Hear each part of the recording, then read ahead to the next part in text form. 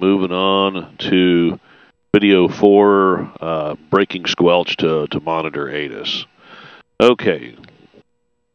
Once we're listening, once we've got ATIS in and we want to listen to it, so I need to go monitor. So now that I'm listening to that, talk, listen on 32.2, monitor on 25.6, trying to pick up Little Rock's ATIS.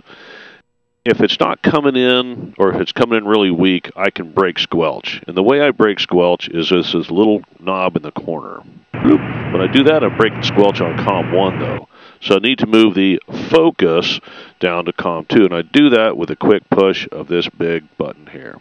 Boom, there I am on the bottom radio. I'm still talk listening on 1, and I break squelch. Now I'm breaking squelch on COM 2, and I'll be able to hear ATIS at a much greater distance. And just got to remember once you're done with it, turn the squelch off, turn monitor off, and take the focus back upstairs so when they start giving you new frequency, you're inputting it where you want to be inputting it, not in COM 2.